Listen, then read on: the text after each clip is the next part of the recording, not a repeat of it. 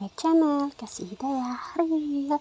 Kali ini aku mau masak yaitu kacang buncis oseng-oseng sama cumi. Dan ini bumbu-bumbunya ya Ada kemiri, ada cabai ada bawang putih dan merica juga. Semuanya diulek sampai halus ya. Dan ini aku tuh real banget nguleknya pakai tangan pakai ulekan gitu.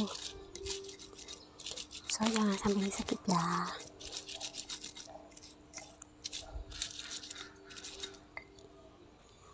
nah ini udah halus